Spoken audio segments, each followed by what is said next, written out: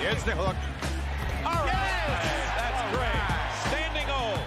Well, he's the one guy, either he or Brogdon. You can't allow both of them to have a huge offensive game. And both of them had huge offensive games on Friday and Beal with a little teardrop. Been a DNP the last handful of games. I think Vogel's going to try his hand at a few people. I think you're absolutely right. He basically intimated that we're going to see Bol Bol tonight as KBD. I think he's a little passive at times.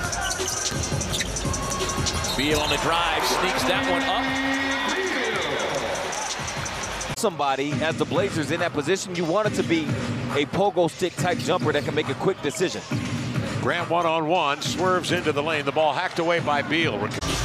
They have struggled in the two previous meetings this season with a three ball against this Portland team. This number two with three point shooting defense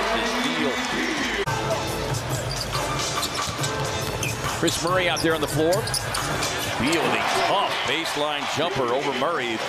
six eight. Grant averaging nearly 23 per game. Brad on the drive, hit the brakes, and quickly got it up the window. I'd like to know what he said. Exactly. Off the inbound, Beal. Up ahead to Beal.